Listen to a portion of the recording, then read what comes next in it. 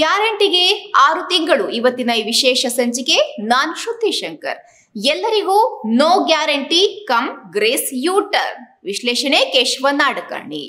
Unit current ಅನ್ನ free ಪ್ರತಿಯೊಬ್ಬರಿಗೆ. ನನಗೂ ಫ್ರೀ ನಿಮಗೂ ಫ್ರೀ ಮಾದೇವಪ್ಪನಿಗೂ ಫ್ರೀ ಕಾಕಾ ಪಾಟೀಲ್ಗೂ ಫ್ರೀ ದಯಾನಂದ ನಿನಗೂ ಫ್ರೀ. ಇನ್ನ ಮುಂದಕ್ಕೆ ಇನ್ನ ಮುಂದಕ್ಕೆ ಜೂನ್ ಒಂದನೇ ತಾರೀಕಿಂದ ಹದಿಮೂರನೇ ತಾರೀಕು ರಿಸಲ್ಟ್ ಬರ್ತದೆ. ಹದಿನೈದನೇ ತಾರೀಕು ಹೊಸ ಸರ್ಕಾರ ರಚನೆ ಆಗ್ತದೆ. ಮೊದಲನೇ ಕ್ಯಾಬಿನೆಟ್ನಲ್ಲಿ ನೀವು ಯಾರು ಕೂಡ ಕರೆಂಟ್ ಬಿಲ್ ಕಟ್ಟೋ ಪ್ರಶ್ನೆ ಬರೋದಿಲ್ಲ ಇದು ಕಾಂಗ್ರೆಸ್ ಪಕ್ಷದ ಶಪಥ. ರಾಜ್ಯ ವಿಧಾನಸಭಾ ಚುನಾವಣೆಗೆ ಮುನ್ನ ಕಾಂಗ್ರೆಸ್ ಪಕ್ಷ ಭರವಸೆ ನೀಡಿದ್ದ ಗ್ಯಾರಂಟಿಗಳಿಂದ ಜಾರಿ ಆಗುವ ಲಕ್ಷಣಗಳು ಕಾಣ್ತಾನೇ ಇಲ್ಲ. ಮೊದಲ ಸಂಪುಟ ಸಭೆಯಲ್ಲಿಯೇ ಎಲ್ಲಾ ಗ್ಯಾರಂಟಿಗಳಿಗೆ ಸಹಿ ಹಾಕ್ತೇನೆ ಅಂತ ರೋಷಾವೇಶದಿಂದ ಹೇಳಿದಂತ ಮುಖ್ಯಮಂತ್ರಿ ಸಿದ್ದರಾಮಯ್ಯ ಈಗ ನಿಧಾನವಾಗಿ ಜಾರಿಕೊಳ್ತಿದ್ದಾರೆ. ಗುರುವಾರ ಸಚಿವ ಸಂಪುಟ ಸಭೆಯಲ್ಲಿ ಗ್ಯಾರಂಟಿಗಳ ಬಗ್ಗೆ ತೀರ್ಮಾನವಾಗಲೇಬೇಕಾಗಿದೆ. ಆದರೆ ಅದು ಸಾಧ್ಯವಿಲ್ಲ ಎಂಬುದು ಮಾತ್ರ ಗ್ಯಾರಂಟಿ. ಚುನಾವಣೆಗೆ ಮೊದಲು ಇಲ್ಲ ಸಲ್ಲದ ಆಸೆ ತೋರಿಸಿ ಅಧಿಕಾರಕ್ಕೆ ಬಂದ ಕಾಂಗ್ರೆಸ್ ಈಗ ಯು ಟರ್ನ್ ಹೊಡೆದಿದೆ. ತಾವು ಮಾತ್ರವಲ್ಲ, ತಮ್ಮ ನಾಯಕ ರಾಹುಲ್ ಗಾಂಧಿ ಕೈಯಿಂದಲೂ ಗ್ಯಾರಂಟಿ ಕಾರ್ಡ್ಗಳನ್ನ ಸಭೆಯಲ್ಲಿ ಪ್ರದರ್ಶನವಾಗುವಂತೆ ನೋಡಿಕೊಂಡಿದ್ದಾರೆ. ಆದ್ರೆ ಈಗ ಎಲ್ಲರಿಗೂ ಗ್ಯಾರಂಟಿ ಇಲ್ಲ. ಸರ್ವೆ ಮಾಡ್ತಾ ಇದ್ದೇವೆ ಅಂತ ಒಬ್ಬ ಮಂತ್ರಿ ಹೇಳಿದ್ರೆ ಇನ್ನೊಬ್ರು ಹೇಳ್ತಾರೆ, ಹಾದಿ ಬೀದಿಗೆ ಹೋಗೋರಿಗೆ ಎಲ್ರಿಗೂ ಕೂಡ ಕೊಡಕ್ಕಾಗಲ್ಲ ಅಂತ. ರಸ್ತೆಗೆ ಹೋಗೋರಿಗೆಲ್ಲ ದುಡ್ಡು ಕೊಡೋಕ್ಕಾಗಲ್ಲ. ರಸ್ತೆಗೆ ಹೋಗೋರಿಗೆಲ್ಲ ದುಡ್ಡು ಕೊಡೋಕ್ಕಾಗಲ್ಲ. ಯಾರಿಗೆ ದುಡ್ಡು ಕೊಡ್ತೀವಿ? ಯಾರ ಅಕೌಂಟ್ ಹೋಗ್ಬೇಕು? ಗ್ರಾಜುಯೇಟ್ ಯಾರು? ಮಹಿಳೆ ಯಾರು? ಅವ್ರ ಅಕೌಂಟ್ ನಂಬರ್ ಏನು? ವಿದ್ಯುತ್ ಶಕ್ತಿ ಯಾರು?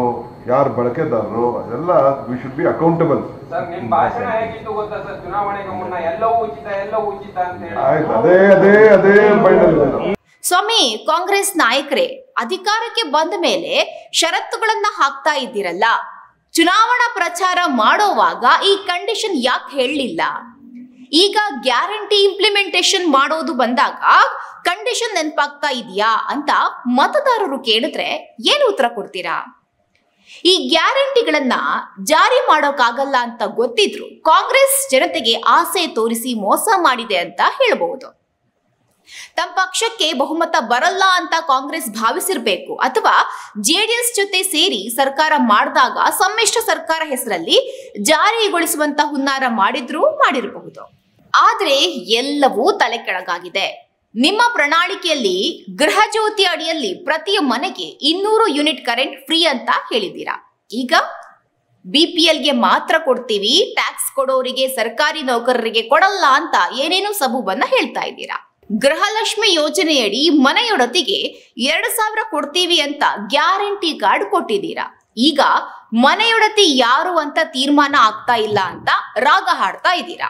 ಅಂದ್ರೆ ಅತ್ತೆ ಸೊಸೆ ಮಧ್ಯೆ ಜಗಳ ಹಚ್ಚಿ ಮನೆ ಮುರಿಬೇಕು ಅಂತ ಪ್ಲಾನ್ ಮಾಡಿದ್ದೀರಾ ಅಂತ ಅತ್ತೆ ಸೊಸೆಯಂದಿರು ಕೇಳ್ತಾ ಇದ್ದಾರೆ, ಉತ್ತರವನ್ನು ನೀವು ಕೊಡಬೇಕು. ಇನ್ನು ನಿರುದ್ಯೋಗಿಗಳಿಗೆ ಭತ್ಯೆ ನೀಡುವಂತ ಯುವ ನಿಧಿ ಹಾಗೂ ಮಹಿಳೆಯರ ಫ್ರೀ ಬಸ್ ಪಾಸ್ ಯೋಜನೆಗಳು ಗೋತಾ ಹೊಡೆಯುವಂತ ಎಲ್ಲಾ ಲಕ್ಷಣಗಳು ಕಾಣ್ತಾ ಇವೆ.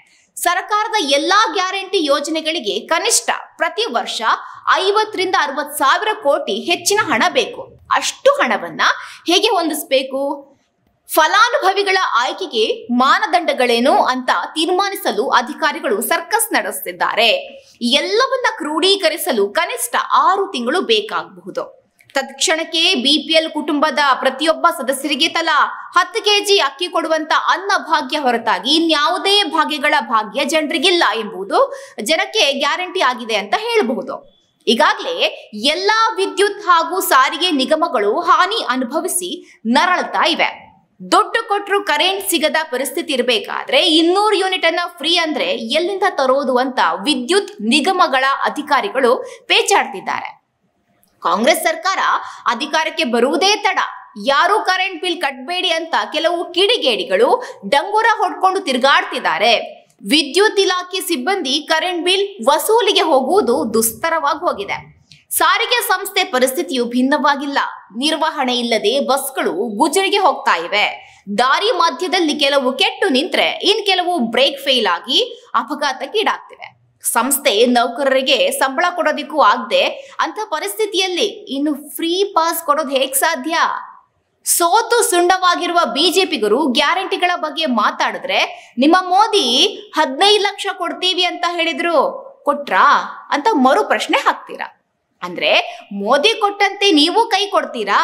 ಅಥವಾ ಮೋದಿ ಹೆಸರನ್ನ ಹೇಳಿ ಬೀಸುವ ದೊಣ್ಣೆಯಿಂದ ಪಾರಾಗಲು ಯೋಚಿಸ್ತಾ ಇದ್ದೀರಾ?